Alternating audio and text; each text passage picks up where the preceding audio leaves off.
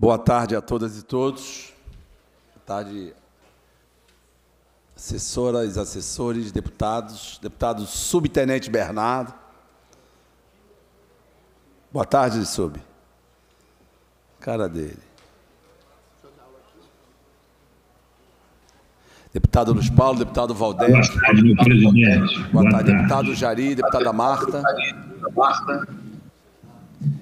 Eu, primeiro, deputado Luiz, em relação às audiências que ficamos de marcar, eu, aquela, hoje teve a audiência do projeto de lei em relação à reserva da vida silvestre.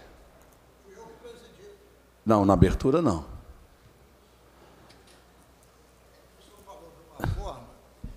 Teve uma audiência pública presidida por mim às 13 horas, e fui eu que abri. Projeto do deputado Max, para crescer o percentual do ICMS municipal a ser aplicado, modificando a lei 5.100 de 2,5 para 5 pontos percentuais. Ok. Essa foi feita uma hora, acabou exatamente às 10 para as 3. Ok.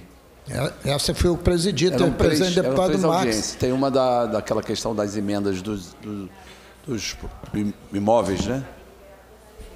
Não, olha só, a alienação onerosa, que foi o que o senhor pediu, e a do combustível, nós vamos deliberar na terça para poder fazê-la semana que vem. Tá. Deu, deu para entender? Ou não? Deu. E hoje teve uma outra, deputada Marta Rocha, qual foi? Foi do, do meu projeto em relação... A que foi presidida pelo deputado André Correia. Correia. Quem devia ter presidido essa era o deputado Carlos Mink, que o senhor aqui tinha definido em Na verdade, era, plenário. era, era a comissão de, Mas foi comissão. do ambiente, meio ambiente. Mas foi bem. Foi comissão. Passei rapidamente. Você acha, então, que as, as duas outras audiências na próxima semana realizam? Depende muito do jogo do Brasil, né? Se vai ser segunda ou terça, se vai... Todo mundo dizendo...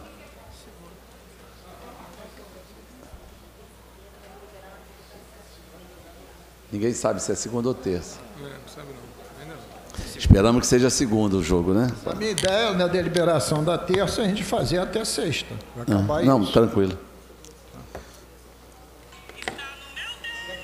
Do, combustível, de 7 a 7, a gente se comprometeu a fazer depois dia 2. Dia 2 é amanhã, né? Você viu a, arrecadação do ICMS? 900 milhões é menos.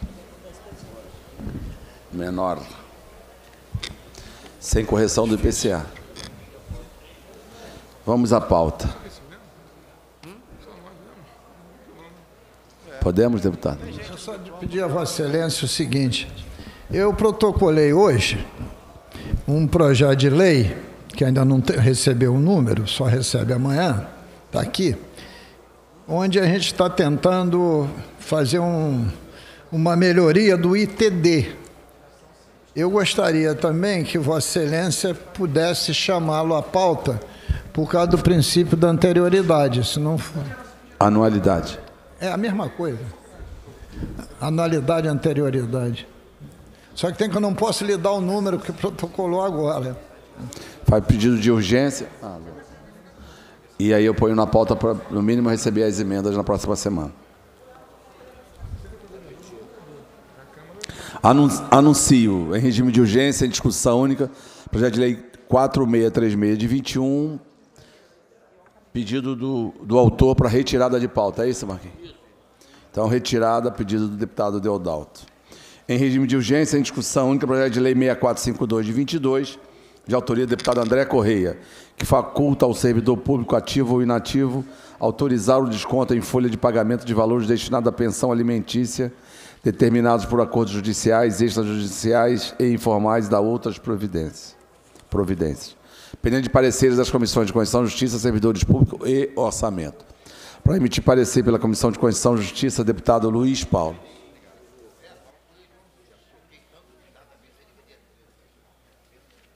Senhor presidente, eu fiz diversas emendas a esse plenário, a esse projeto de lei, porque a redação não está a melhor. Né? Porque, veja só, senhor presidente, é justo que o servidor público, ativo ou inativo, ativo ou inativo, ele possa decidir se deve descontar a pensão em, em folha, quando há um acordo entre as partes. Mas quando é decisão judicial, ele não tem que concordar com nada. Pô. É decisão judicial. Então, nesse sentido, a gente fez uma série de emendas em plenário. Quem ia relatar esse projeto de lei deveria ser o nosso presidente de honra da CCJ, deputado Chico Machado. É de honra porque até hoje nós não conseguimos votar nele, apesar de eu estar com voto pronto escrito. Mas, mas não reuniu ainda a CCJ? Não, ele não foi. Senhor presidente, ele não é, ele é da, da mesa diretora? Ele é da CCJ. Ele é da CCJ. Então, mas tinha um problema para o senhor resolver, né? Porque estava faltando um membro na CCJ que o senhor ia colocar. Mas isso não impede, deputado Luiz, com todo respeito. Sim. Não impede. É Não, tinha, tinha um, o senhor na colher de líderes, o senhor falou que faltava resolver um empecilho. Porque senão é só o senhor da ordem, a CCJ se reúne e elege. Se não tem mais empecilho nenhum. É isso aí. Por favor. Bom, mas vamos lá. O parecer da CCJ é pela constitucionalidade com seis emendas. São exatamente cinco, emenda, cinco emendas modificativas e uma emenda supressiva. É o parecer. Pela Comissão de Servidores Públicos, deputado Rodrigo Amorim. Deputado Rodrigo Amorim. Deputado Flávio Serafim. Deputado Eliomar Coelho.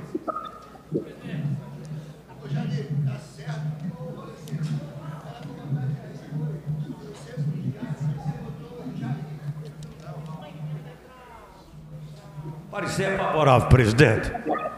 Pela Comissão de Orçamento, deputado Eliomar Coelho. Continua parecer sendo favorável, presidente. Os pareceres emitidos em discussão, não havendo que queira para discutir, deputada Marta Rocha. Boa tarde a todas e todos. Vou fazer até a discussão rapidamente aqui e quero iniciar agradecendo à Defensoria Pública, na pessoa da defensora Maria Carmen e também da defensora Flávia Barbosa do Nascimento, que é a coordenadora que cuida da questão defesa dos direitos das mulheres, que nos apresentaram uma importante nota técnica analisando esse procedimento. É óbvio que é possível imaginar que o desejo é, do parlamentar, ao apresentar esse projeto de lei, foi para discutir né, a possibilidade de que o desconto de uma pensão alimentícia pudesse, de alguma forma, passar pela anuência do servidor e não o desconto imediato.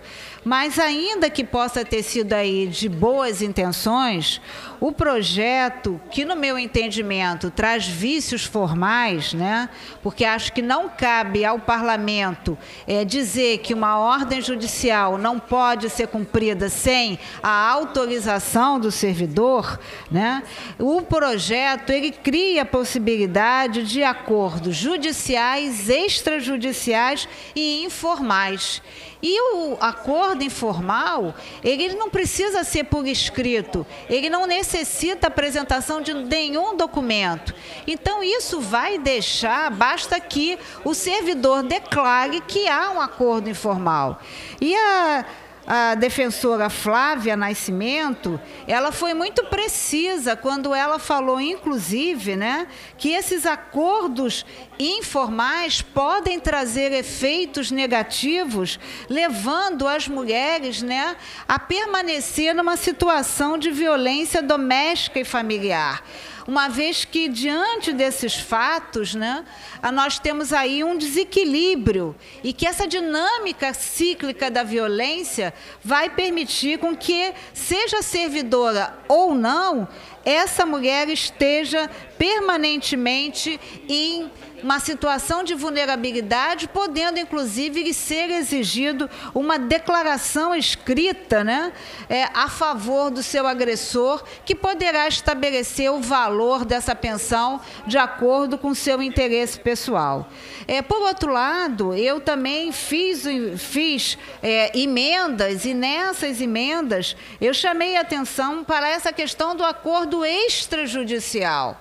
E é minimamente necessário que esse acordo extrajudicial contemple né, a legislação em vigor, seja a legislação 11.340 da Lei Maria da Penha, seja o Código Civil, seja o Estatuto da Criança e do Adolescente, exatamente para garantir uma equidade entre as partes e para permitir é, que não essa ideia que pode ter sido cunhada no interesse de dar voz ao servidor público e de alguma maneira permitir um acordo entre as partes, essa ideia ela não venha a interferir na dinâmica da violência doméstica ou então a subjugar as mulheres é, que são que estejam aí num processo de separação ou num processo de dissolução de uma sociedade conjugal.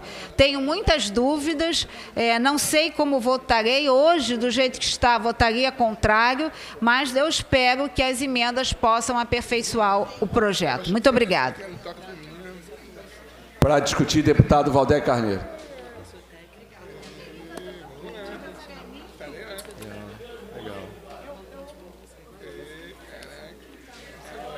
Deputado André Ciliano, eu também me inscrevi para discutir aqui mesmo, no microfone de aparte, esse projeto de lei eh, e quero também agradecer à Defensoria Pública do Estado, especialmente à defensora Flávia Brasil Barbosa do Nascimento, coordenadora de defesa dos direitos da mulher, que fez a fineza de encaminhar aqui à Assembleia Legislativa, aos nossos gabinetes parlamentares, é uma nota técnica sobre este projeto do deputado André Correia, projeto de lei número 6452 de 2022. Evidentemente que respeito e, e, e parto do pressuposto é, do interesse do deputado de favorecer, é, digamos assim, uma certa celeridade na garantia e no pagamento das pensões às mulheres. Entretanto, alguns elementos me preocupam no projeto. Por exemplo, esta figura é, é, do acordo informal. Né? Não, não, não, compreendo bem que figura é esta, como que ela pode ser é, disciplinada e menos ainda como que um acordo informal pode permitir que o servidor, é, ativo ou inativo, escolha, decida se vai ou se não vai fazer ter o desconto para a pensão alimentícia em sua folha é, remuneratória, em sua folha de pagamento. Menos ainda se houver uma decisão expressa é, do juízo. É, não, não, não, caberá ao servidor é, é decidir é, é, de moto próprio, por conta própria, se vai ou se não vai ter desconto em sua folha, se tiver havido uma decisão judicial. Ele não tem o condão de ultrapassar esta decisão. Mas ainda é preciso tomar cuidado, a defensora avança nesse ponto, para que a boa é, intenção, a boa ideia do deputado não acabe redundando. Do jeito que está o texto, ele pode ser melhorado, pode ser aprimorado, que mulheres mais frágeis economicamente né, possam ser vítimas da chamada violência patrimonial por parte do seu ex-cônjuge, do seu ex-companheiro, enfim, que pressiona a mulher né, é, em função da sua dependência econômica, da sua impossibilidade de sobreviver sem é, o acesso à pensão que lhe é, é, de direito. Então, assim, muito cuidado com a defesa e a proteção dos interesses das mulheres, sobretudo aquelas mulheres vítimas de violência, vítimas de violência doméstica, e mais ainda, cuidado é, com a Assembleia Legislativa, é, digamos, é, corroborando a ideia de que um servidor pode, por conta própria, ultrapassar uma decisão judicial e também entender melhor esta figura, é, digamos assim, é, difusa do chamado acordo é, informal. Por isso, também fiz, ofereci várias emendas ao projeto. Espero que o debate proporcione um aprimoramento da matéria e a discussão que queria fazer. Linda foto, deputado André Ciliano. de que legislatura é, André? De que legislatura é? 99. Deputada Tânia Rodrigues está por Deputado, aqui. deputado Carlos Mink. Olha que foto legal aqui, Mink. Você está por aqui, você, André, Chico Alencar, com o Brizola aqui, com a Tânia Rodrigues. E que beleza. Que foto linda. Presidente, uma questão de ordem, enquanto Vossa Excelência eh, está aí, eu queria, ontem, durante a- a- o plenário, o, alarme de incêndio tocou e nós pedimos para que a brigada verificasse, né? E surgiu o comentário de que volta e meia está tocando. Não é bem assim. Ontem, um visitante da casa, só para que os parlamentares fiquem cientes, o deputado Samuel Malafaia, os deputados que estavam aqui ontem, um visitante acionou o alarme de incêndio.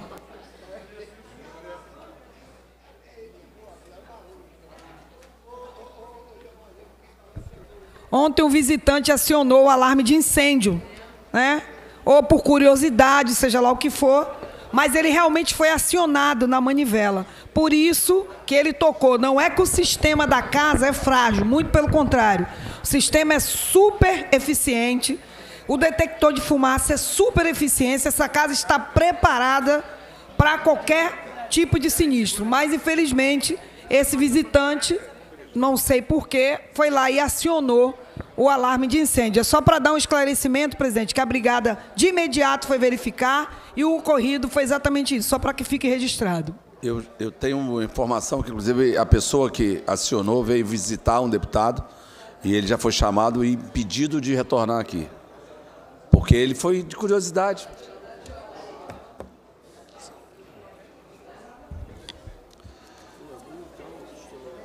Vamos lá. Em tramitação ordinária, segunda discussão, redação do vencido assim emendado. Projeto de lei 402-A de 15, de autoria do deputado Renato Cosolino e Valdé Carneiro, que altera a Lei 4260, de 29 de dezembro de 2003, que autoriza a utilização das unidades que integram a rede estadual de ensino por concursos pré-vestibulares comunitários nas condições que menciona para acrescentar os cursos de pré-vestibular gratuito e, e dar outras providências. Em discussão. Não havendo que queira discutir, encerrada a discussão, a presente matéria recebeu 13... 7 ou 13? Aqui estão 7. 13 emendas e retorna às comissões. Questão de ordem, presidente, só para ordem, esclarecer, é que esse projeto, eu tinha um projeto sobre esse tema, mas eu descobri que o Renato Cosolino tinha um projeto que era anterior ao meu.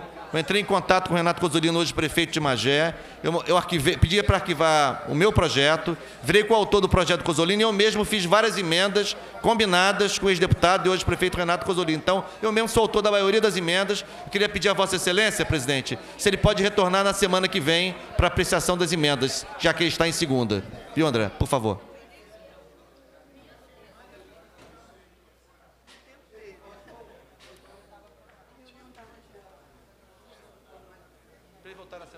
Presidência defere pedido de Vossa Excelência. Anuncio em segunda, discuss... segunda discussão, redação do vencido, projeto de lei 1347-A de 16, Faltou uma aqui, faltou uma aqui. A mesma. Isso, te mandando. Maria, você esse homem aí, ó? E a foto tão linda. Tira a foto aí, cadê a pessoa para tirar uma foto? Cadê o pessoal da foto?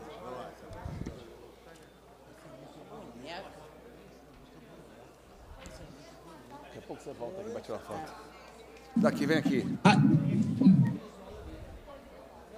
Vem aqui, vem aqui, Reto. Ratinho, você sequestrou essa criança? Muito linda, Ratinho. Ali, ó. Olha lá, Maria. Olha lá, Maria. Ah. Ela gostou daqui, ó.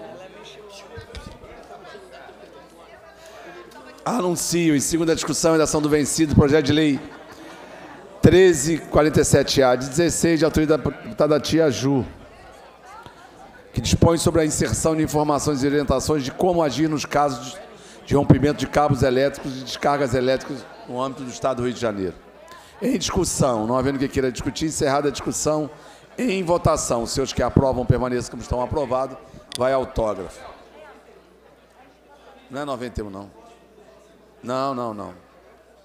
Eu era deputado, a bancada de, de, de 99. Fevereiro de, essa falta de fevereiro de, de 99. Em segunda discussão, projeto de lei 5020, 2021, de autoria do deputado Bebeto, que autoriza o Poder Executivo a incluir o aplicativo Carteira Digital de Trânsito à vistoria do GNV na forma que menciona. Pareceres da Comissão de Constituição e Justiça pela condicionalidade, transporte favorável, de orçamento favorável. Relatores, deputado Márcio Pacheco, Alexandre Quinoploc e Anderson Moraes. Em discussão, não havendo que queira discutir, encerrada a discussão. Presente proposta recebeu três emendas e retorna às comissões. Vamos tirar para dançar? Em discussão única, projeto de resolução 1037 de 22, de autoria do deputado Ronaldo Anqueta, que concede medalha Tiradentes, respectivo diploma ao excelentíssimo senhor Leandro Cruz Froz da Silva, ex-ministro de Estado do Esporte. Parecer. Comissão de Normas Internas e Proposições Externas, favorável, deputado Rosenberg Reis. Em discussão, não havendo que queira discutir, encerrada a discussão, em votação. Seus que aprovam permaneçam como estão, aprovado vai à promulgação. Presidente, só registrar aqui a abstenção da bancada do pessoal.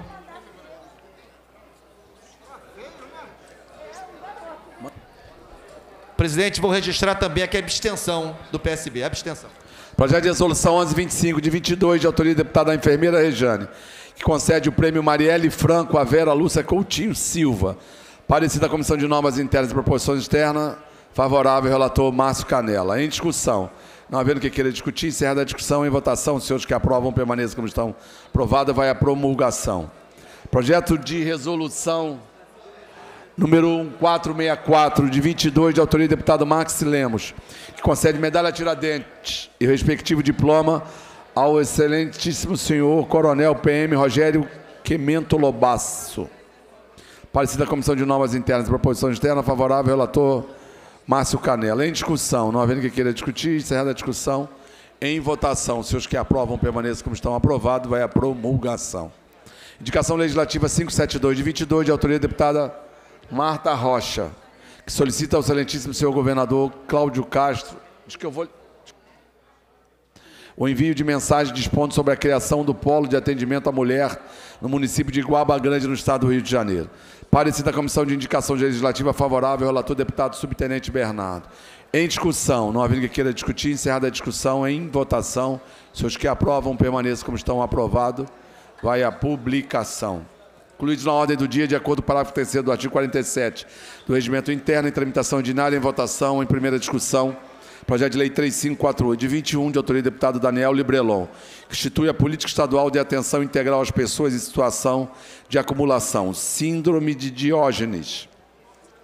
Pareceres da Comissão de Constituição e Justiça pela constitucionalidade com emendas. De saúde favorável, de orçamento favorável. Relatores, deputado Luiz Paulo, Marta Rocha e Eliomar Coelho. Pendendo de pareceres das comissões de Constituição, Justiça, Saúde e Orçamento. Para emitir parecer pela Comissão de Constituição e Justiça, deputado Luiz Paulo.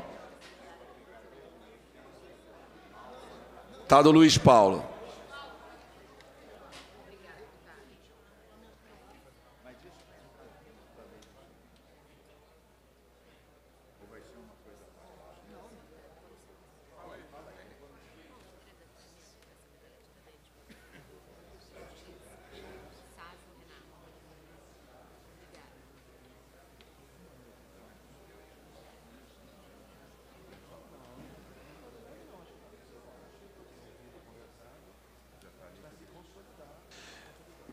Projeto de lei 3548, deputado. Projeto 3548, autoria do deputado Daniel Libreron, que institui a política estadual de atenção integral às pessoas em situação de acumulação, síndrome de Diógenes. Parecer da CCJ, as emendas de plenário, é favorável às emendas 2 e 6, favorável com subemenda à emenda 1, contrário às demais emendas. A Comissão de Saúde, deputada Marta Rocha. Acompanho o parecer da CCJ. Pela Comissão de Orçamento, deputada Eliomar. Aproveitando, deputada Marta. Parabéns, parabéns e parabéns pela liminar. Posso então fazer uma- um agradecimento aqui? Quero fazer inicialmente um agradecimento a Vossa Excelência, ao nosso procurador e pedir uma questão de ordem. É, agradecimento à Vossa Excelência, ao nosso procurador, doutor Rodrigo. Eu acho que todos acompanharam pelo jornal que 2.583 profissionais da área da saúde que atuam nos seis hospitais e nos três institutos, que são estabelecimentos de saúde do governo federal, corriam o risco de serem demitidos, uma vez que o contrato terminaria hoje, no dia 1 de dezembro. É, diante, eu fui acionada pelo Sindicato dos Médicos, tive a oportunidade de conversar com o nosso presidente sobre isso. Articulamos aí com a Procuradoria da Casa.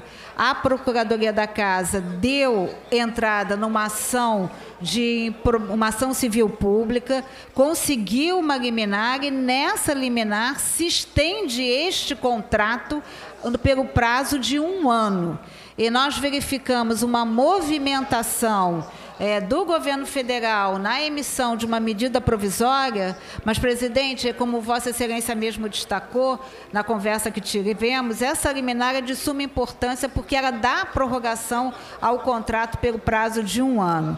Então, eu quero mais uma vez agradecer aqui Procuradoria, Procuradoria da Casa, a Vossa Excelência, sempre tão sensível à questão dos trabalhadores da área da saúde. Muito obrigada. Eu também fui procurada, fui procurada no sábado, e no sábado mesmo falei com Vossa Excelência aí, com o doutor Rodrigo, que preparou a ação e prontamente, mais uma vez, conseguimos eliminar. Eu, deputado Luiz, nós estamos preparando o lançamento é, da nossa nota técnica do Complexo Industrial da Saúde. Possivelmente, até o dia 15, nós vamos fazer um lançamento é, dessa nota técnica, é muito, muito importante, porque temos um potencial imenso aqui no estado do Rio de Janeiro isso pode gerar muitos empregos e muita renda para o nosso povo. Então, já já quero que Vossa Excelência participe conosco à mesa, esteja à mesa juntamente com o deputado Luiz Paulo, lançamento da nossa nota técnica. E também tem um nosso é, convênio com a Rural e com a UFRJ, que é o Matriz Insumo e Produto. Também vamos fazer um, uma cerimônia, porque desde a década de 90 que o Estado não tem um levantamento tão completo sobre a cadeia produtiva da nossa economia. Presidente. Podemos fazê-lo. Eu queria só lembrar quem nos assiste pela TV Alerge que a gestão de Vossa Excelência teve um olhar muito atento para a saúde. Em tempos de pandemia, essa casa disponibilizou né, 100 milhões de reais para os, os, municípios para aquele primeiro atendimento na atenção básica em tempo de pandemia. Os 20 milhões para a Fiocruz, para a questão né, do, de um projeto específico na comunidade da Maré os 250 milhões para a tuberculose, que foi fundamental, o dinheiro esse que vai ser aplicado ao longo de cinco anos. E agora, pensar no complexo da saúde é pensar com o olhar da gestão que tem atenção para essas políticas que afetam diretamente a população do nosso Estado, mas também pensar no desenvolvimento econômico desse Estado. Esse Estado tem a Fiocruz, a Farmanguinho, tem a UFRJ, tem a COP, é, tem todo um universo de institutos de pesquisas e um ambiente já próprio para se estabelecer aqui o complexo industrial da saúde, que sem dúvida nenhuma, daqui a alguns anos, uma vez, uma vez concretizado, é, vai representar o crescimento econômico do nosso Estado. Obrigada mais uma vez. Presidente, pela ordem, muito rapidamente. Só... Um, um instante, por favor. Eu colhei o parecer do, do Eliomar. Deputado Eliomar, projeto de lei 3, 3548. Orçamento. Parecer Vossa Excelência deu. De acordo com a CCJ, presidente. Vossa Excelência emitiu parecer aí ao final da, da fala de Vossa Excelência, é, com os pareceres emitidos, em votação, parecer da Comissão de Constituição e Justiça com emendas, senhores que aprovam, permaneçam como estão aprovados. Em votação, parecer da CCJ em relação às emendas de plenário. Senhores que aprovam, permaneçam como estão aprovados. Em votação, projeto assim emendado. Os senhores que aprovam permaneçam como estão. Aprovado em primeira. Vai a, vai a redação do vencido para a segunda discussão. Deputada Tia Ju, por favor. Queria depois, André, muito rapidamente, é, só é, fazendo aqui um... comungando e, e, concordando com a fala da deputada Marta Rocha, não sendo é, prolixa e repetitiva. E aí, nessa linha, senhor presidente, eu queria lembrar o quanto que essa casa fez de apoio aos municípios com as enchentes do ano passado. E a gente está vendo mais uma vez as chuvas chegando e os municípios começando a sofrer novamente com as enchentes. Terça e quarta-feira, principalmente quarta-feira, o município de Barra do Piraí, que é um município que eu tô, estou constantemente, foi totalmente alagado. As estradas que dão acesso ali no Turvo, Conservatório, Barra Mansa, que vai para pra, as outras cidades, e as estradas vicinais dessas cidades estão todas interditadas com barreiras barragens que caíram, barreiras que caíram, estão paradas, totalmente interditadas. E o município está precisando de ajuda a, da Secretaria de Agricultura do Estado, com, com é, é, patrol, maquinários mais pesados, para que se dê mais rapidamente a liberação desses acessos que são importantes. Então, eu gostaria aqui de deixar é, lembrado do apoio desta casa aos municípios na, no período de enchentes, o quanto foi importante os recursos que foram disponibilizados e pedir o apoio aí, o suporte para esses municípios, mais uma vez, com as máquinas que a Secretaria de Agricultura tem para desobstruir essas estradas que dão acesso. E é aqui eu trago a questão de Barra do Piraí, que está totalmente ilhada. Presidente André Ciliano. É que nós estamos. Primeiro, é, deputado Valder. Obrigado. Eu, eu quero apenas repercutir também aqui, deputado André Ciliano, essa informação. Eu, o professor Mauro Osório, nosso coordenador da assessoria fiscal da casa, me ligou hoje de manhã e conversamos sobre isso. Demarcar a importância dessa atividade que lança a nota técnica sobre o complexo econômico industrial da saúde. E eu queria, André, dizer que acho muito importante que a gente se, viu, Luiz Paulo, que a gente se refira a esse complexo como um complexo econômico, industrial e científico da saúde. Porque, na verdade, a base de tudo é a grande produção em ciência e tecnologia na área de saúde que nós temos no Rio de Janeiro. É, de, é daí que decorre, que pode decorrer a repercussão industrial e econômica.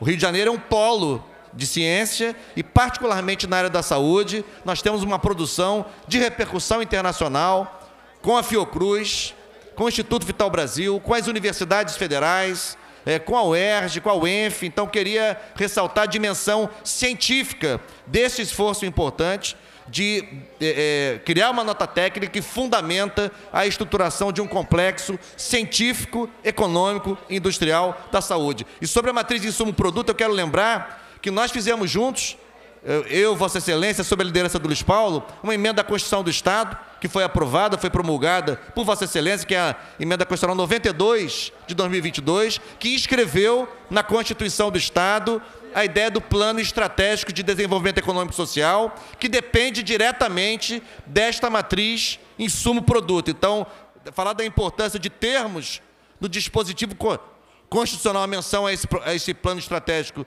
de desenvolvimento econômico e social, que está diretamente relacionado a esse esforço de fazer um mapeamento é, das possibilidades, vocações é, do Estado do Rio de Janeiro em matéria de economia de desenvolvimento econômico nas diferentes regiões. E, por último, agradecer a Vossa Excelência.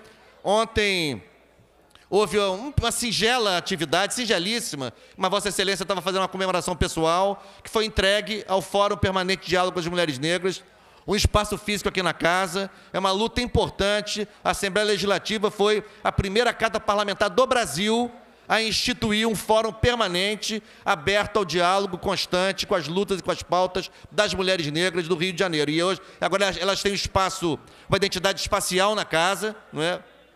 Tem uma programação orçamentária no orçamento da LERJ. Eu quero agradecer a Vossa Excelência nesse final de legislatura. É, sem o seu apoio, isso não teria acontecido. Agradecer também ao Wagner Victor e ao Renan Lacerda, a equipe administrativa e de, e de direção desta casa.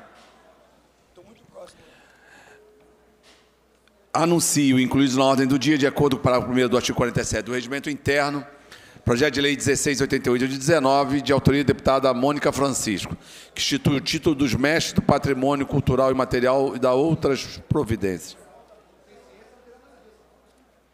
Pendente de pareceres das comissões de Constituição e Justiça, de Cultura e de Orçamento. Para emitir parecer pela Comissão de Constituição e Justiça, deputado Luiz Paulo.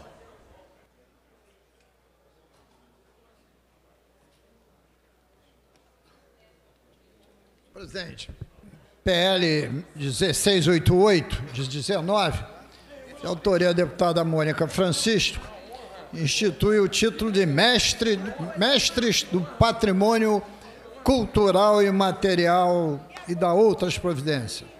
Parecer da CCJ é pela constitucionalidade com emenda modificativa ao artigo 17. Pela Comissão de Cultura, deputado Eliomar.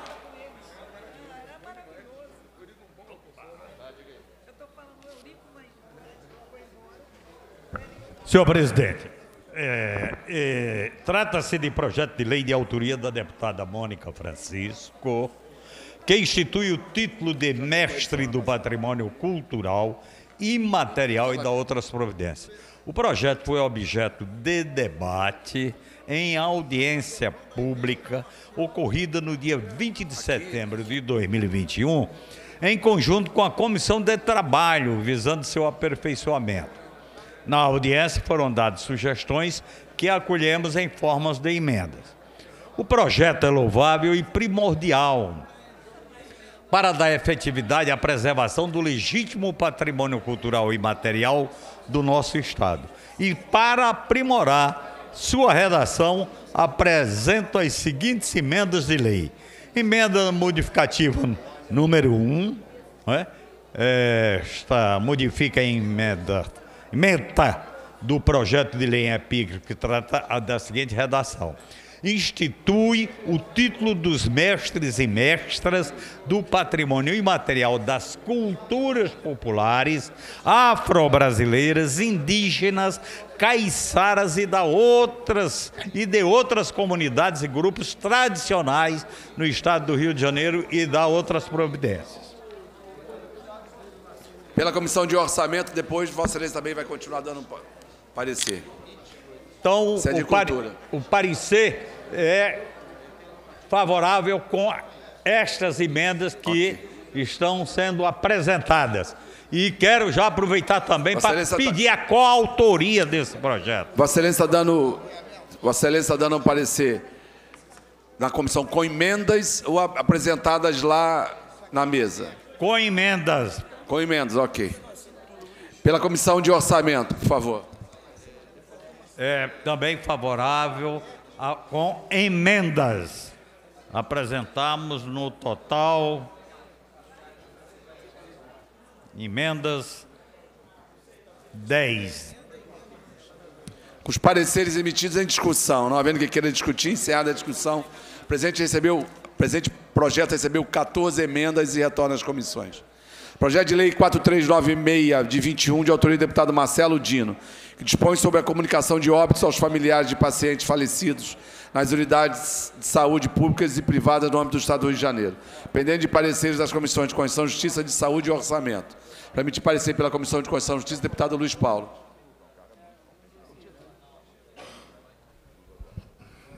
PL 4396, 21 deputado autor, autor Marcelo Dino, dispõe sobre a comunicação de óbitos aos familiares dos pacientes falecidos nas unidades de saúde públicas e privadas. Parecer é pela constitucionalidade com emenda. Estamos modificando a emenda para que ela fique coerente com o artigo 1 É o parecer.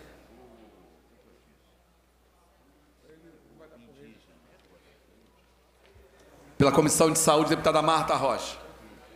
Presidente, eu quero manifestar aqui meu bem-querer pelo deputado Marcelo Dino, mas tenho muitas dúvidas sobre esse projeto. É óbvio que eu consigo entender que a, o objeto desse projeto é a celeridade, e esse projeto ele trata de um tema muito sensível, que é a comunicação de óbito aos familiares nas unidades públicas e privadas de saúde.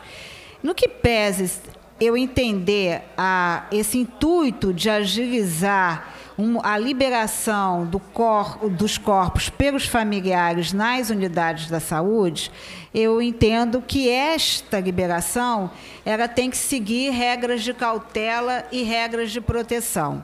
Para tanto, fui estabelecer um contato com a Polícia Civil e quero aqui agradecer o Dr. Roger Lancelotti, que é perito legista, hoje é o coordenador das áreas técnicas dos Institutos Médico Legal, Félix Pacheco e é, Instituto de Criminalística, é médico, foi diretor da nossa policlínica. Então, exatamente para ter um olhar mais técnico né, sobre essa liberação da ausência da necessidade de ter uma da apresentação de uma certidão de óbito ou de um óbito registrado. Porque, embora o falecimento se dê no, na unidade de saúde, é, muitas dessas mortes podem não ser morte, é, morte natural, a causa natural. Pode ter outras complicações. Né? Acho também muito Acho excessivo legislarmos por um procedimento que passa pela análise do Poder Judiciário, porque toda essa questão do registro de óbito ou de nascimento está regida pela Lei 6.015.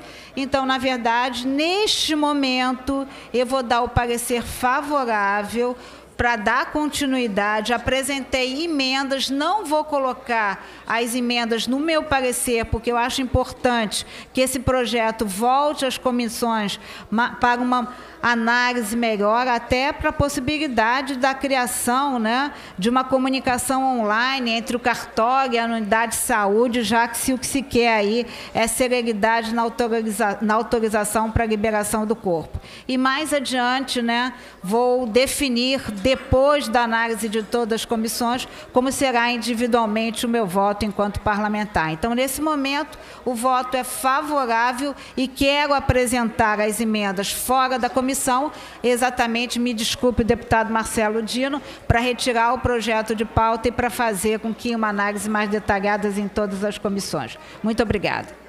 Pela Comissão de Orçamento, deputado Eliomar.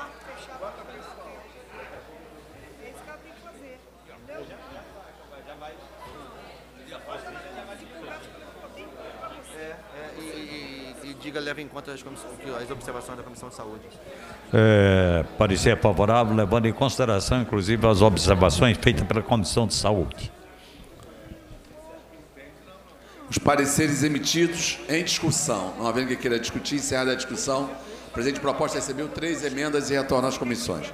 Projeto de Lei 6047, de 22, de autoria do deputado Samuel Malafaia, que altera a Lei 5.645, de 6 de janeiro de 2010, incluindo no calendário oficial do Estado do Rio de Janeiro a Semana Estadual de valorização dos trabalhadores da saúde, pendendo de pareceres das comissões de Constituição e Justiça, de Trabalho e de Saúde. Para emitir parecer pela Comissão de Constituição e Justiça, deputado Luiz Paulo.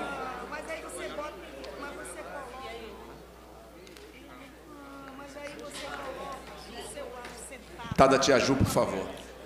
Décimo terceiro de pauta, PL 6047, de 22, deputado Samuel Malafaia altera a Lei 5645 de 10, incluindo no calendário oficial do Estado do Rio de Janeiro a Semana Estadual de Valorização dos Trabalhadores da Saúde, deputada Marta Rocha.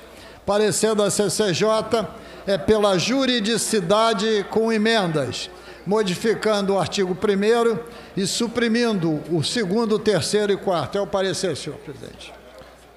Pela comissão de, Perfeito, colega. De trabalho. Perfeito, Deputado Samuel. Muito obrigado, boa tarde. Perfeito, estou acompanhando. Ok. Pela Comissão de Trabalho, deputada Mônica Francisco. Boa tarde, presidente. Parabenizar o autor do projeto. Trata-se de análise das emendas de plenário ao referido projeto, que inclui no calendário oficial do Estado do Rio de Janeiro a Semana Estadual de valorização dos trabalhadores da saúde. Extremamente pertinente, dado o que passamos no processo de pandemia e ainda sofremos os resquícios desse processo. Né? O projeto de lei é extremamente meritório, pois visa instituir a semana referida, a ser realizada em agosto, com o objetivo de realizar palestras, seminários e atividades de valorização dos profissionais e das profissionais de saúde, implementar ações que promovam o respeito e o cuidado aos profissionais de saúde é fundamental, buscando que tenham um tratamento equânime e respeitoso, com condições de trabalho adequadas e a garantia devida de descanso. Nós aqui também já fizemos, inclusive em relação aos fisioterapeutas e terapeutas ocupacionais, projeto que também versa sobre esse tema do descanso. Debate urgente diante dos impactos da pandemia de Covid-19. Segundo pesquisa realizada pelos pesquisadores da USP, com dados de 2020, 41,4% dos profissionais apresentaram queixas de insônia ou piora no quadro clínico, 13% passaram a usar medicamentos para insônia, 44,2%, isso no caso do Brasil, né, relataram esgotamento provocado pelas condições de trabalho, ansiedade, burnout, 21% relatando síndrome de burnout. A semana de valorização é fundamental, devendo somar-se a ações concretas de promoção de condições, condições de trabalho dignas, de efetivação de planos de cargos e carreiras que valorizem a categoria e a garantia efetiva do direito ao descanso. Isso posto, meu parecer às emendas de plenário ao projeto de lei número 6047 de 2022 é favorável, parabenizando o autor e já pedindo uma questão de ordem a Vossa Excelência, presidente, para conceder a coautoria ao deputado, ao nobre deputado Eliomar Correia, ao projeto 1688 de 2019, de nossa autoria, com muito prazer. Viu, deputado Eliomar? Obrigada, presidente. O que, que a gente tem por tradição? Quando vota, aí a gente faz a coautoria, pode ser? Pode. Tá?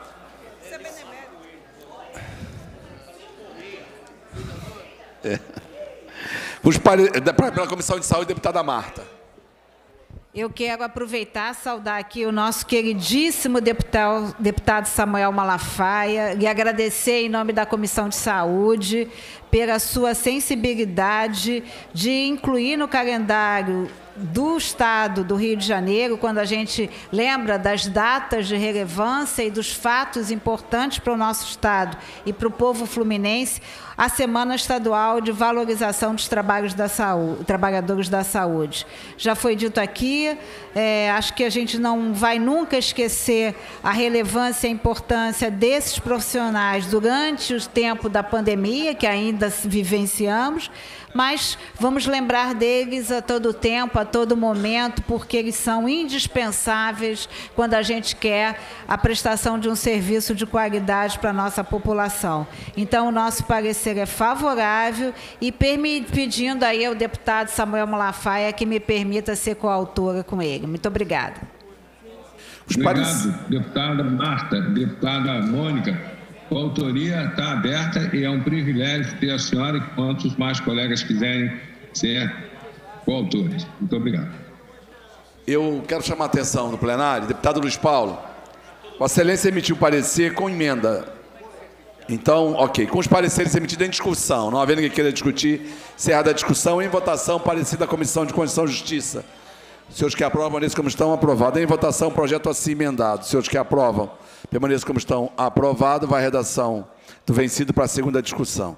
Nada mais a tratar na sessão ordinária. A presidência, antes de encerrar os trabalhos, há sobre a mesa requerimentos. Requer inclusão na pauta dos seguintes projetos. Projeto de Lei 1536 de 16, 4309 de 21, 3970 de 18. Deputado Valdec Carneiro, seus que aprovam, permaneçam como estão. Aprovada.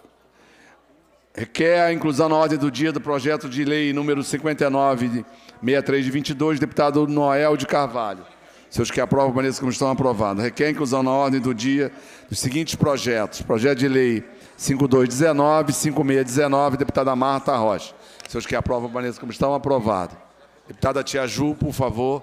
Com a palavra, o deputado Valdec Carneiro. Deputado. Um grande abraço, boa tarde a todas e todos. Obrigado, presidente. É, Vossa Excelência tinha concedido e a Aline da, das comissões permanentes me alertou ontem, eu quero fazer esse alerta aqui.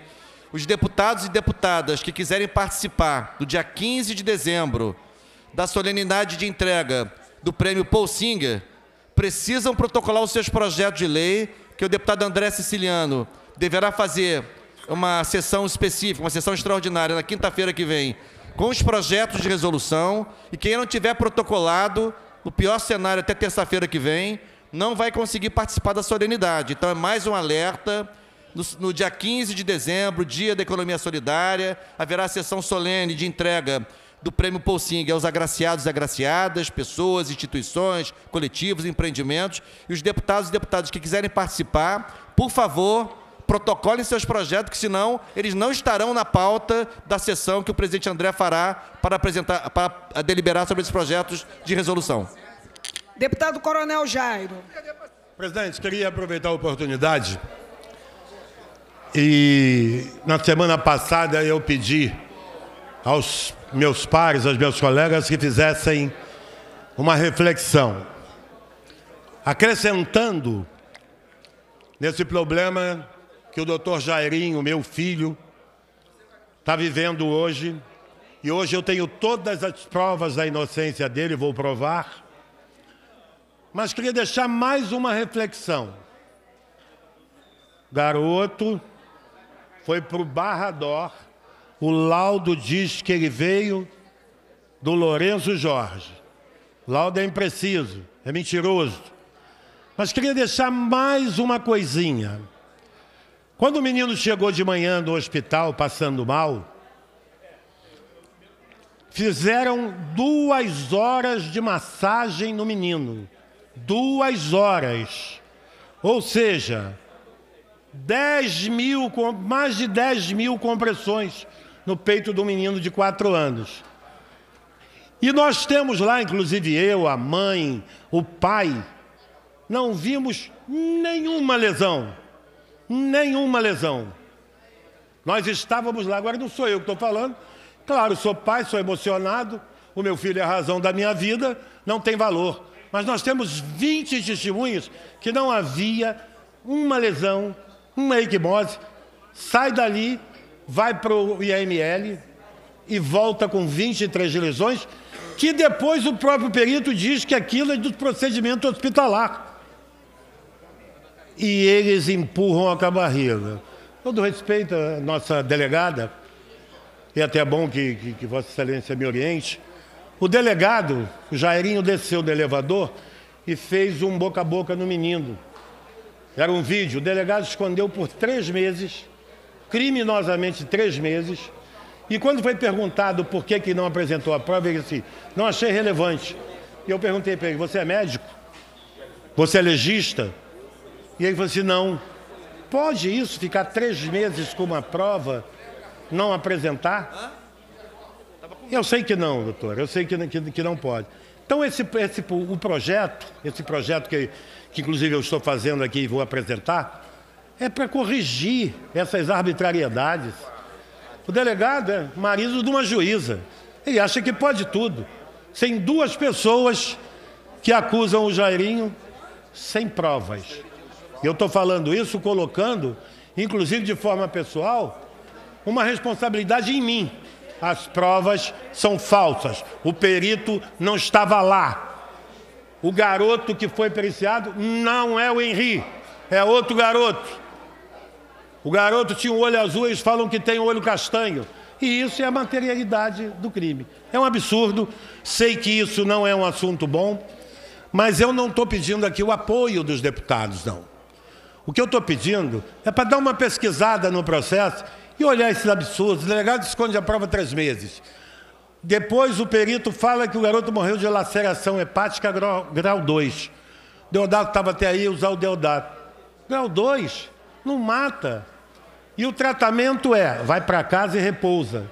Então são tantos absurdos que a nossa magistrada está cometendo que não vai ficar barato, porque eu vou provar a inocência. Eu só queria que fizessem essa reflexão porque não havia uma marca no corpo do garoto. Nenhuma. Eu vi, a mãe vi. Outra coisa, as médicas declararam: não, Não havia no corpo do garoto nenhuma marca. O pai que estava lá, esse que é a grande vedete da televisão, meu filho morreu de infarto ou de AVC. Quatro dias depois ele muda. Esse rapaz tem um montão de coisa para apresentar para a gente. Ele entrega o garoto às sete e meia lá na casa do Jairinho da menina, às sete e meia da noite, todo vomitado. O carro vomitado, o garoto todo vomitado. Eu nunca vi pai levar um filho doente para a casa da mãe, entregar e deixar lá. Normalmente tem que levar para o hospital e para a clínica, entrega lá. O que é pior? Mas ele vai explicar. Nove e meia, ele mora no final do recreio. Nove e meia ele volta e fica na periferia da casa do Jairinho da menina. Voltou às nove e trinta e ficou por ali esperando alguma coisa. Será que ele queria alguma notícia? Ele entregou às sete e meia voltou às nove e meia? Vai ter que explicar isso. Então, só peço uma reflexão para os senhores. Leiam, leiam esses autos. Eu vou tentar fazer um dossiê para todos. E eu só queria uma coisa dos meus amigos e dos deputados. Leiam os autos, porque vocês vão se indignar. O mundo mudou. O mundo está diferente. Tem coisas absurdas acontecendo. Semana passada mataram cinco mulheres. Sei o que está acontecendo, mas a gente não pode perder a capacidade de se indignar. Então, o que eu peço aos meus companheiros: indignai-vos, senhores. Pode acontecer com qualquer um. Viva uma tragédia. Vou provar a inocência do meu filho. Muito obrigado, presidente. Ainda há sobre a mesa o requerimento de inclusão na ordem do dia do PL 1964 de 20, da deputada Mônica Francisco. Senhores que aprovam mesmo como estão aprovado. PL 5440 de 2020, há sobre a mesa requerimento de inclusão da deputada da deputada Mônica, senhores que aprovam mesmo como estão aprovado. Há sobre a mesa ainda o PL 6060 de 2022, da deputada Mônica Francisco. Para inclusão, senhores que apoiam, permaneçam como estão, aprovado. Nada mais a tratar, na ordem do dia passa o expediente final. primeiro orador escrito é o nobre deputado Dionísio Lins. Vossa Excelência dispõe de 10 minutos no tempo regimental.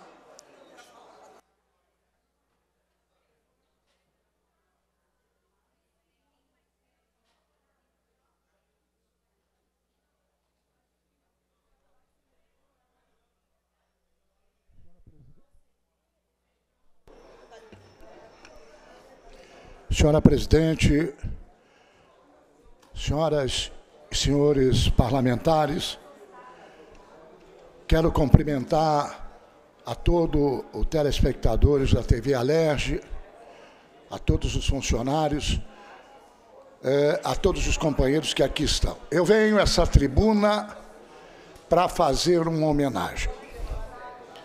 Devo dizer e dar um testemunho que nunca conheci um homem público tão honrado como o professor Francisco Dornelles. Francisco Dornelles lançou o seu livro O Poder Sem Pompa. Tive a honra de receber o primeiro exemplar. Francisco Dornelles, que foi cinco vezes deputado federal Francisco Dornelles, que foi senador da República. Francisco Dornelles, que foi secretário da Receita Federal, ministro da Indústria, Comércio e Turismo, ministro do Trabalho e Emprego, que dá um belo testemunho sobre democracia neste poder sem pompa. Devo dizer que venho lendo e conhecendo a cada momento a história com esse homem público que é uma reserva moral desse país.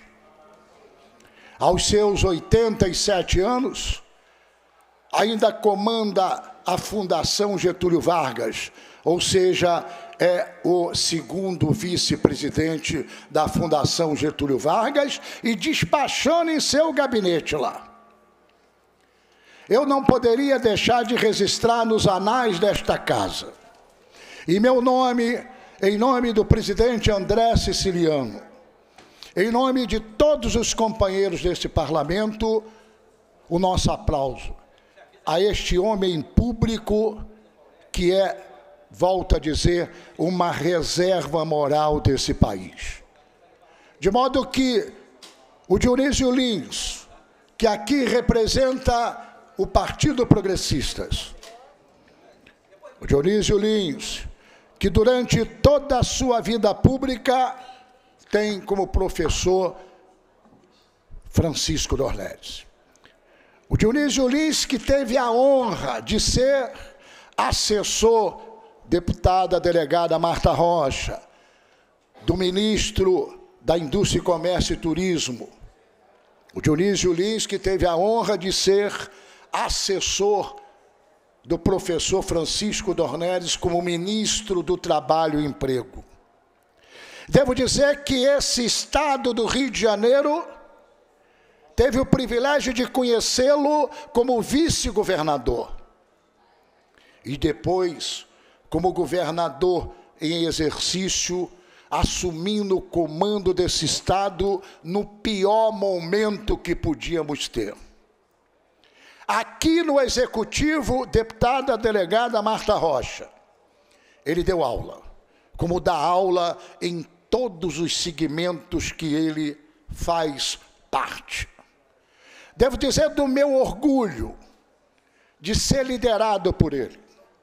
Devo dizer que não me faz bem quando não falo com ele, porque o professor Francisco Dornelles é realmente um homem público fenomenal. Com toda a honra dou a parte à nobre delegada e minha querida mestre também na política.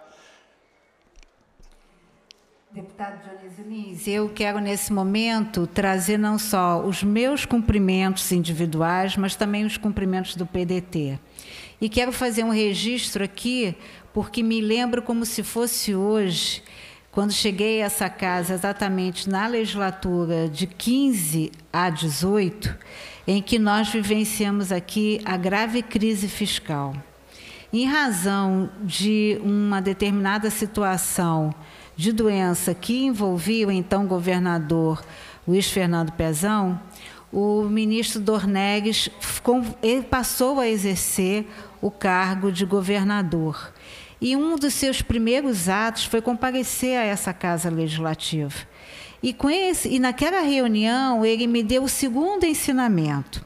O primeiro ensinamento que ele deu foi o respeito do executivo ao legislativo. Tão difícil nos dias de hoje, né? Mostrando que os poderes são independentes, harmônicos, mas mostrando o respeito à autonomia dessa casa. O segundo, a segundo ensinamento foi a sua fala, talvez sedimentada pelo seu trabalho como ministro do Trabalho, em que naquele momento os salários dos servidores estavam atrasados, as pensionistas não recebiam, e ele disse que trabalhador que não recebe, quando o trabalhador não recebe o seu salário, isso pode ser considerado semelhante ao tipo penal que fala da redução análoga à escravidão. Então, o respeito demonstrado por ele ao trabalhador, aos aposentados e às pensionistas fez crescer em mim a admiração que eu tenho pelo seu trabalho. Então, os nossos cumprimentos, ao, eu gosto de chamá-lo de ministro Francisco Dornelles, acho, não que governador ou deputado não tenha, mas acho que foi muito relevante a sua atuação nesses ministérios, é, e faço não só em meu nome, mas também em nome do PDT. E se houver, em outro momento, outro tipo de lançamento, por favor, não nos deixe de comunicar, porque a gente terá o prazer de comparecer. Tá? E nosso abraço fraterno a Vossa Excelência e a ele. Agradeço muitíssimo a nobre querida deputada delegada Marta Rocha pelo belo aparte. Devo dizer que tenho que também, neste momento, como Vossa Excelência lembrou de um fato, e aqui eu lembrei de outro. Quando o ministro Francisco Dornelles estava à frente do Ministério do Trabalho e Emprego, queriam implantar no Brasil o self-service nos postos de gasolina. Era aquele tipo de atendimento que você chegava, botava uma moedinha e você mesmo abastecia é, o seu automóvel. Aí o ministro proibiu isso porque ia acabar com o emprego de todos os frentistas no Brasil. E naquele momento foi ele também homenageado e até hoje está valendo é, a defesa que ele fez em defesa do trabalhador. Quero dizer, nobre deputada Marta Rocha, que receba também o meu abraço e transmito o meu abraço ao nosso querido ministro Lupe, que é um companheiro nosso é, é, de longas datas. De modo que eu quero encerrar dizendo que o ministro e professor Francisco Dornelles, eu peço sempre a Deus para que lhe dê ainda bastante tempo nesse mundo, para que ele possa transferir para nós parlamentares e para este país o que é fazer política verdadeiramente com transparência, com honradez, com respeito ao direito do trabalhador, com respeito ao crescimento, com respeito ao empresariado, enfim, este país teve um dos melhores ministros na indústria, comércio e turismo, no Ministério do Trabalho, este estado, que é o estado do Rio de Janeiro. Dornelles é de BH e viveu lá em São João del Reis. E, e depois, o, o ministro Dornelles, na sua história, quando jovem, no próprio livro, veio ele para o Rio de Janeiro, estudou no Colégio Militar e participou do Clube da Tijuca, que está registrado também nesse livro. Tenho dito que Deus nos abençoe a todos e parabéns ao nobre professor Francisco Dornelles pela bela, pelo belo livro que ele nos deu a honra de conhecer a política de antes, durante e depois. Tenho dito muito obrigado.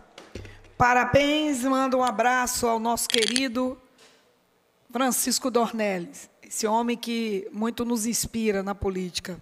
Parabéns. Próximo orador inscrito é o nobre deputado Alexandre Freitas. Vossa Excelência dispõe de 10 minutos no tempo regimental.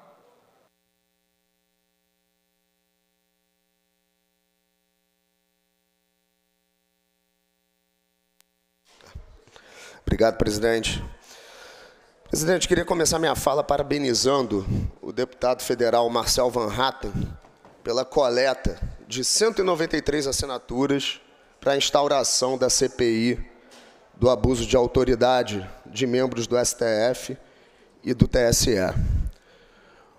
Ontem, o Brasil inteiro pôde assistir o maior ato público por parte do Parlamento Federal de defesa da democracia, de defesa do Estado de Direito e contra os atos antidemocráticos que vêm sendo perpetrados por membros do Judiciário. Na audiência pública de ontem no Senado, ficou muito claro que o Poder Judiciário tem se distanciado dos preceitos constitucionais. E chegou a hora do parlamento assumir a sua função constitucional, investigar e punir os agentes públicos que estão em conluio para cometer abuso de autoridade e violar nossa democracia.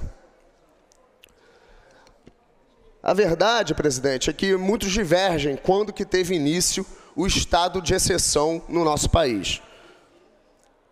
Se foi com a abertura do inconstitucional, o ilegal, o abusivo inquérito 4781 popularmente denominado e erroneamente denominado inquérito das fake news e posteriormente de investigação dos atos antidemocráticos, quando na verdade quem vem promovendo atos antidemocráticos, atos abusivos é o próprio STF. Um inquérito completamente torto, aplicado de ofício, com base numa regra regimental que é inconstitucional. O nosso sistema judicial não permite a abertura de tal inquérito, mas ainda assim ele vem se perpetrando por mais de três anos. Eu, inclusive, fui autor de um pedido de impeachment do ministro Alexandre de Moraes em 2020, mas, infelizmente, ele não foi analisado, foi arquivado pelo presidente do Senado que saiu. Outros também dizem que o estado de exceção começou com a busca e apreensão de empresários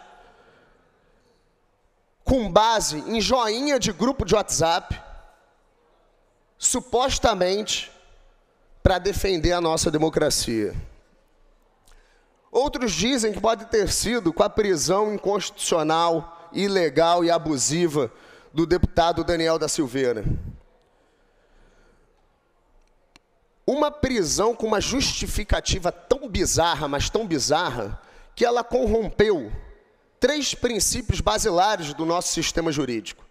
O primeiro é o conceito da prisão em flagrante, como se um vídeo na internet pudesse manter alguém em flagrância, em flagrância de delito. O outro foi do crime inafiançável. A Constituição é clara, o parlamentar só pode ser preso por crime inafiançável. E aí fez-se uma argumentação tosca para corromper esse princípio.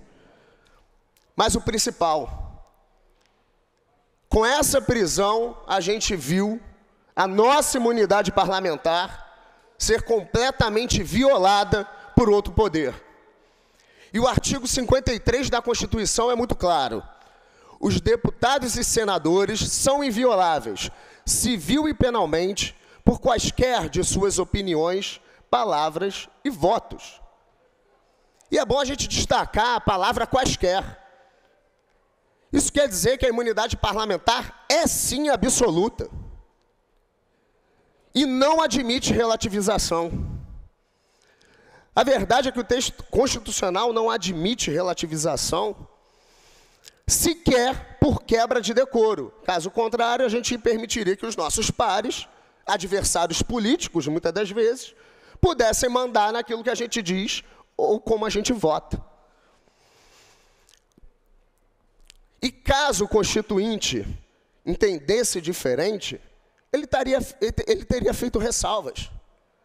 Não consta no texto constitucional que o parlamentar ele é imune por palavras e votos, salvo quando manifestadas nas suas redes sociais. Eu, pelo menos, nunca vi. Até porque em 88 sequer a internet era tão popular. Também não consta lá que os parlamentares são imunes, exceto quando um de nós ofender o ministro do STF. Não existe essa ressalva. Ou então, quando o parlamentar faltar com a verdade, fazer uma fala mentirosa, também não existe essa ressalva.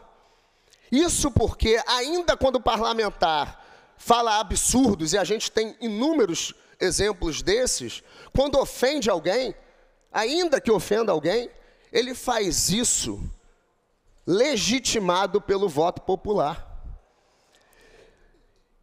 E o nosso constituinte, quando definiu o modelo republicano que nós temos, quem realiza peso e contrapeso, quem realiza o controle de determinada função de algum dos poderes, ele atribuiu essas funções de forma clara e cristalina.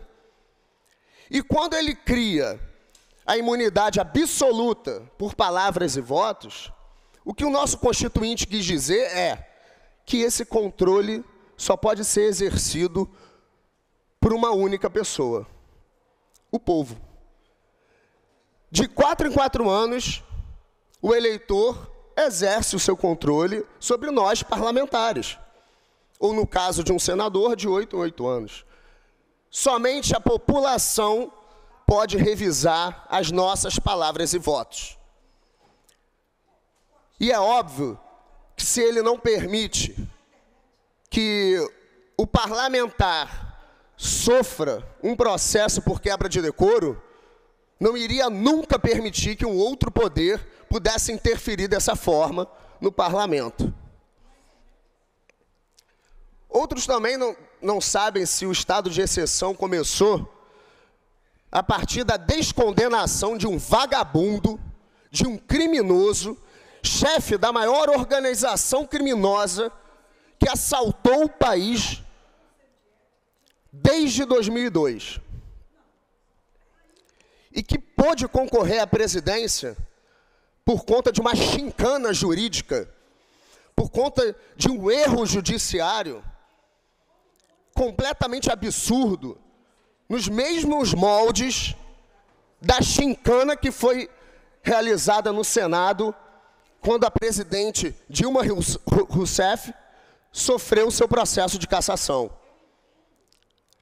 Ali criou-se uma emenda constitucional que permitiu a perda de mandato sem a perda dos direitos políticos. Foi mais um caso em que um membro do STF, dessa vez com a participação do Senado, violou a Constituição Nacional.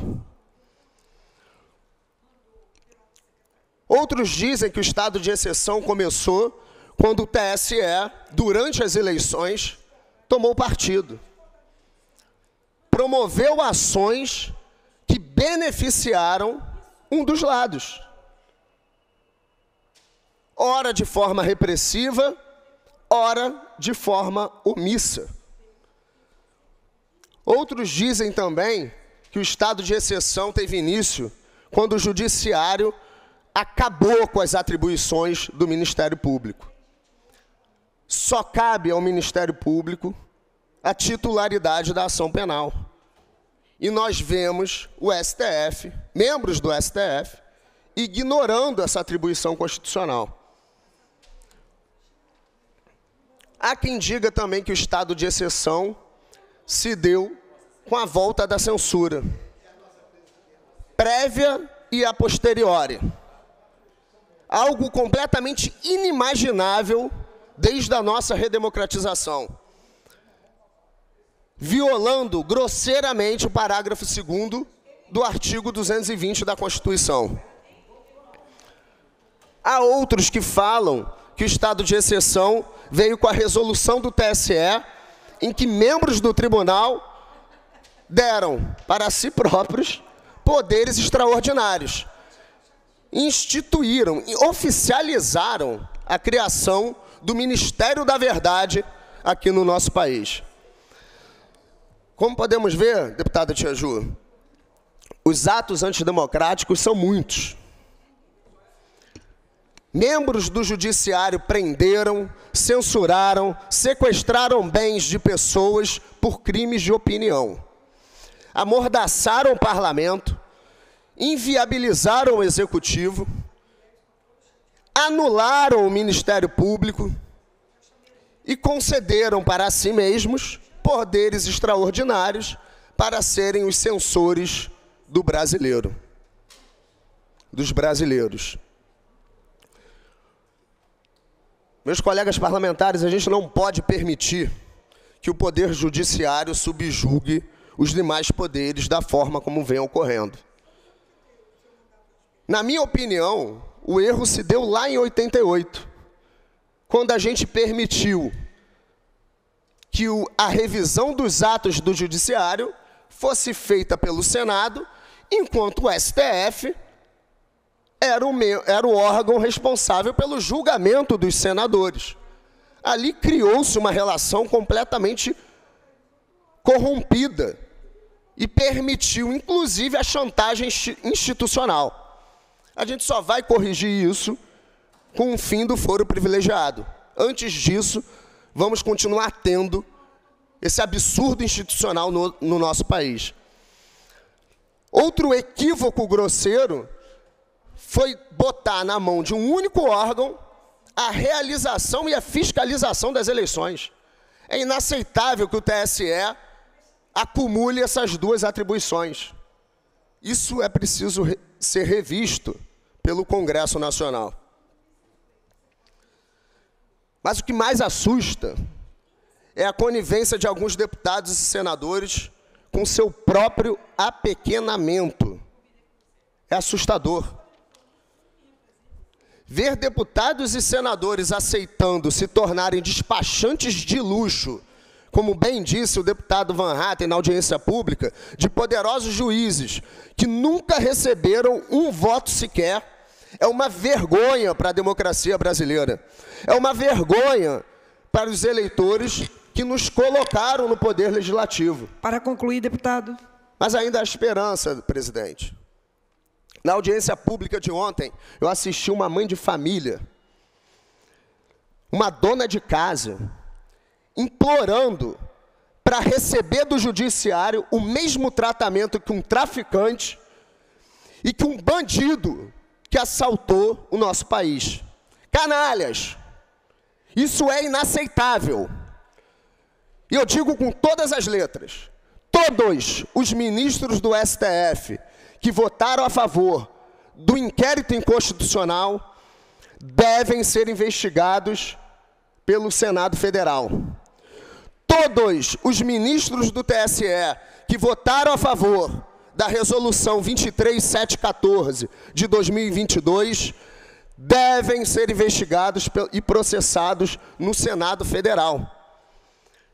E ainda digo mais: o senhor ministro Alexandre de Moraes está em flagrante delito pelo crime de tortura. Porque a tortura, ela não é só física. O inciso 2 do artigo 1 da Lei 9455 de 97 é muito claro. Quando o agente público impõe tortura psicológica, ele comete crime. E é isso que está acontecendo hoje no nosso país. Um procedimento inconstitucional vem se perpetuando como nunca se viu nesse país, sem um fato determinado para ser investigado, sem um crime cometido para investigar crimes futuros, e vem sendo utilizado como instrumento de ameaça e de tortura de cidadãos brasileiros e muitos deles detentores de mandato. Se hoje vemos o STF e o TSE perseguindo deputados e senadores, além dos cidadãos que já estão sendo perseguidos no inquérito dos atos antidemocráticos do Poder Judiciário, em pouco tempo veremos desembargadores e juízes de primeira instância acovardando deputados estaduais, vereadores e governadores e prefeitos. Não porque cometeram ilegalidade, mas apenas porque estão fazendo o seu trabalho. Porque estão exercendo as suas atribuições. Hoje vemos promotores querendo dizer para o executivo a oportunidade e a conveniência de um ato administrativo. Hoje vemos membros do judiciário querendo dizer o que, que nós podemos falar. A verdade é que o acovardamento do legislativo vem criando um monstro e vai nos engolir. Espero que a esquerda, que infelizmente tem alguns membros que estão aplaudindo esses absurdos, e se fosse ao contrário, vocês podem ter certeza que eu estaria criticando da mesma forma, pois eu não faço seletividade de atribuições e de competências. Não acho que o Estado ele tem que ser opressor de uma ideologia, ainda que eu discorde veementemente de muitas asneiras que são postas de forma ideológica. Mas essa é a minha opinião. A beleza da democracia está aí.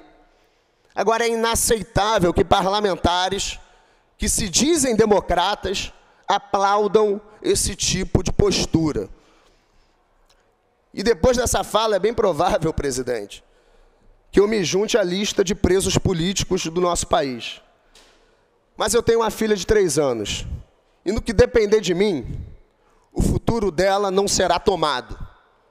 E se nós nos omitirmos agora, se nós ficarmos acovardados, só vai nos restar aceitar o perdeu o mané. Obrigado, presidente.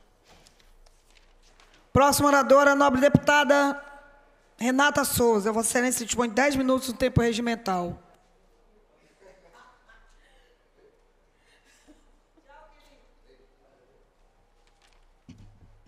Muito obrigada, senhora presidenta.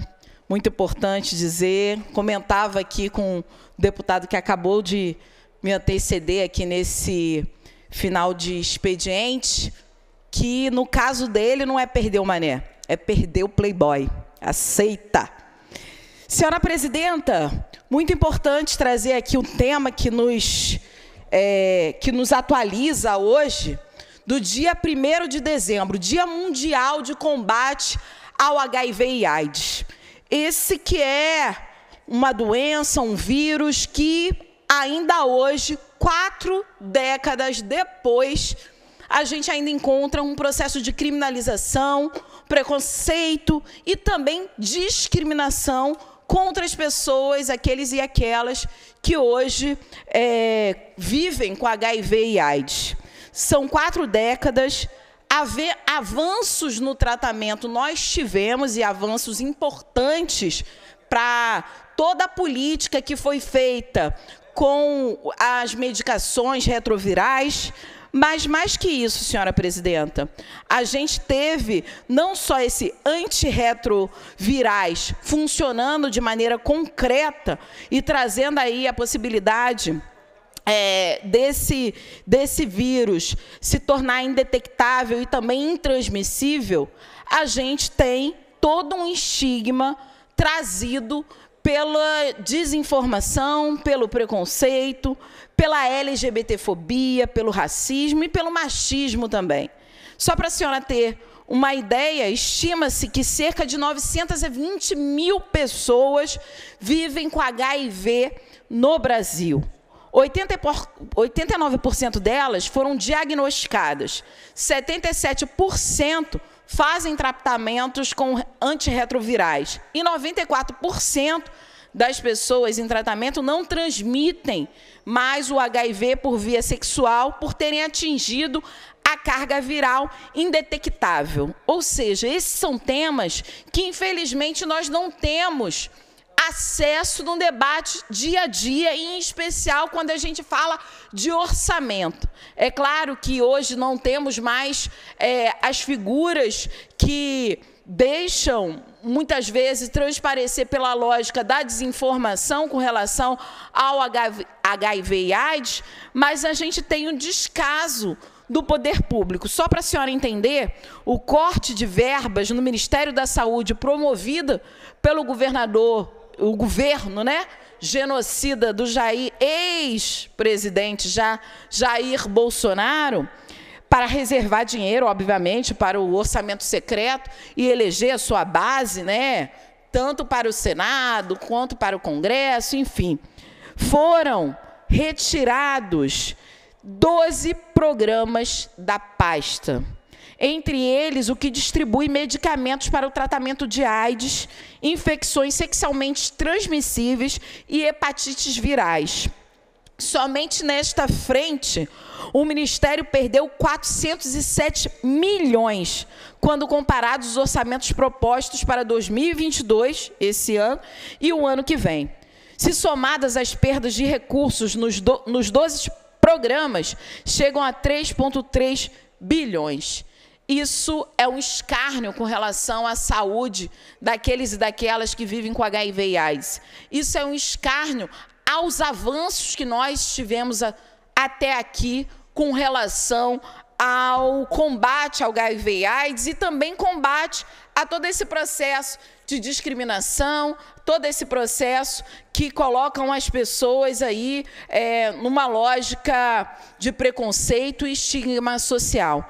Para isso, senhora presidente, nós fizemos aqui nesta casa uma frente parlamentar de combate ao HIV e AIDS, ao preconceito e ao estigma.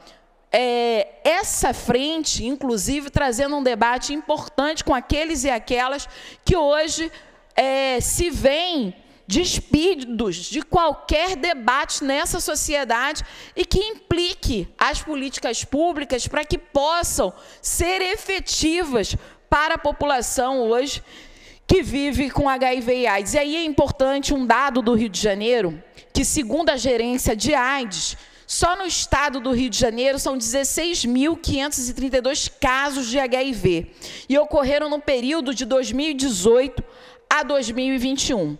E nessa faixa, né, é importante dizer que a juventude teve uma, uma, notificação importante e que nos alerta. Na faixa etária de 15 a 29 anos, entre 2018 e 2020, são 5.266 casos de HIV entre os sexos masculinos e femininos. Ou seja, quando a gente vai afunilando e colocando a lupa por raça e cor, né, a população negra também tem um índice importante de infecção no estado do Rio de Janeiro, com 6.819 casos casos, enquanto 3.258 casos de HIV em impressões brancas e 18 na população indígena.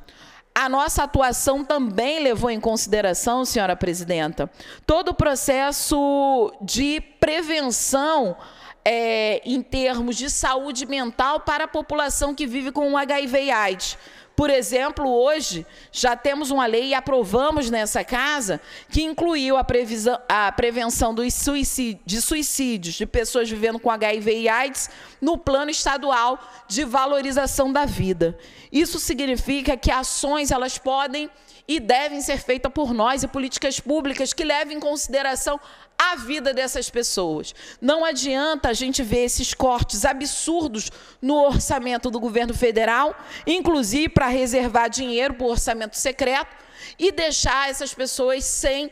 É, o acesso aos antirretrovirais, ao acesso a políticas que sejam de inserção social e de superação de todo estigma social, preconceito e discriminação no geral às pessoas que vivem com HIV e AIDS. Então fica aqui marcado nesse dia 1 de dezembro, Dia Mundial de Combate ao HIV e AIDS, o nosso compromisso com aqueles e aquelas que hoje dependem de políticas públicas e também a nosso, o nosso repúdio ao governo federal, que tirou, cortou em 12 programas os recursos tão, não, tão necessários e urgentes para acolher essa população. Então, senhora presidenta, aqui fica esse registro, mas mais, mas mais que isso, fica o apelo para a produção de políticas públicas para que a gente possa acolher a população que mais sofre, em especial com relação